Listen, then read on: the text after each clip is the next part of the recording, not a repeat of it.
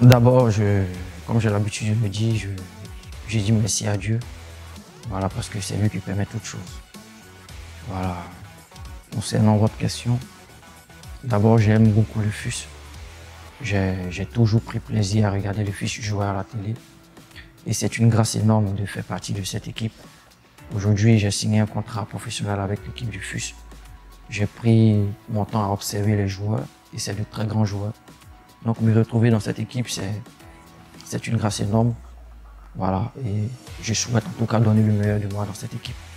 Bon, d'abord, il y avait le directeur technique qui, m'a suivi depuis et il m'a fait part des, intérêts de l'équipe.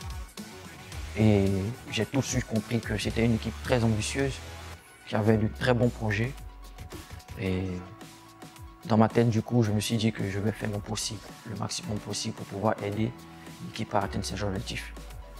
Disons, tout est parfait, tout est professionnel, c'est un club vraiment structuré, avec tout ce qu'il faut pour pouvoir faire progresser un joueur.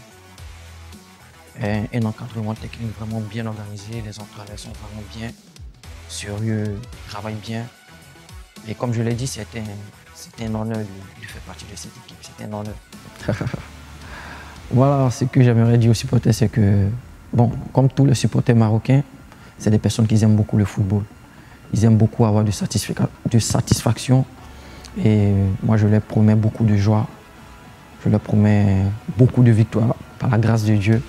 Et puis, avec les soutiens, j'espère qu'ensemble, on va rentrer dans l'histoire du club et atteindre beaucoup, beaucoup d'objectifs.